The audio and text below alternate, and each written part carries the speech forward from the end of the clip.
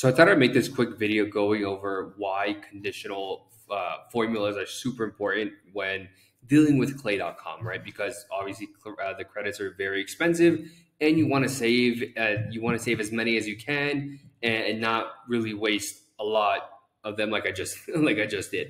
So let's go over exactly what I did. So I scraped the list from Crunchbase.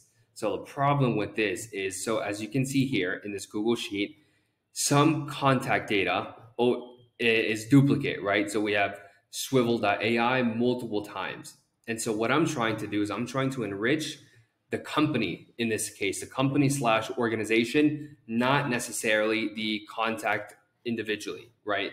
And so what I need to do is I need to create and remove the duplicates that are exist in the original prospecting list. So what I did here is I just created a simple formula. It's called equals unique and then the, the column where the row starts and then where to end. Super simple. And so as you can see here, this gives us roughly, I, I think it's like 500 contact informations, but I only need to enrich the company organization. So here I have it only giving me the unique values in this data set.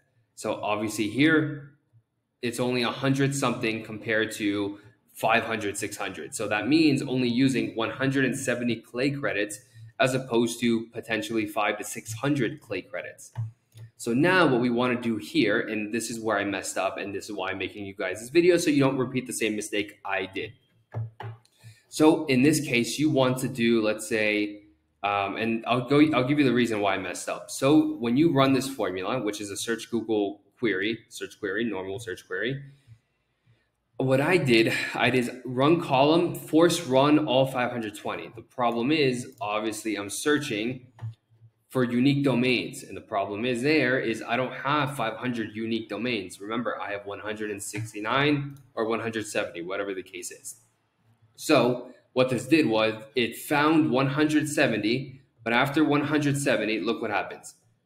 It used the Google search query, which is one credit, which is expensive, and it provided no output because there are no more unique domains.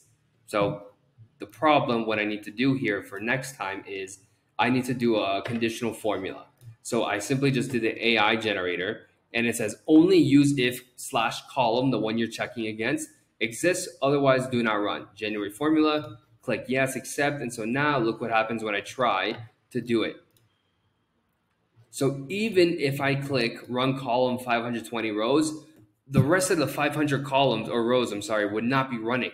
So I would have saved 400, 500 credits if I just simply did a conditional formula. So I hope this helps. Be sure to leave a comment in the in the comment section down below of how you're utilizing Clay today. And I hope this helps at least one person out there. Thank you so much. Bye.